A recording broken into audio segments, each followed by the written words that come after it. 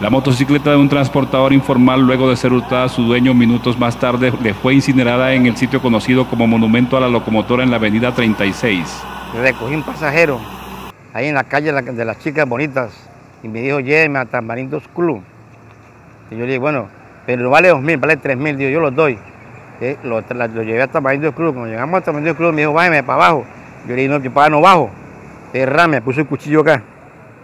Cuando el cuchillo acá, se bajó él. Cuando se bajó, me, mochó la llave de la moto. Arrancó para allá. Cuando yo me le fui encima, me mandó una puñalada. Entonces yo cuando mandé la puñalada, yo así di yo no pues. Jugando, no es en serio. y ahí sí me dio miedo y en ese momento nadie pasaba por ahí, ni un carro ni una moto.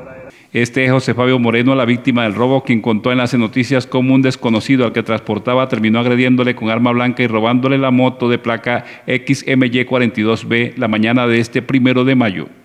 Tendió la moto y se fue. Yo me quedé ahí en la, carretera. Cuando como los 10 minutos pasaron una, amistad de otros transportadores. Ustedes tenían celulares, porque a mí me robó el celular.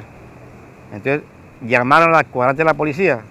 El cuadrante de la policía llegó como a los 10 minutos. Se metió desde para abajo, no encontraron nada.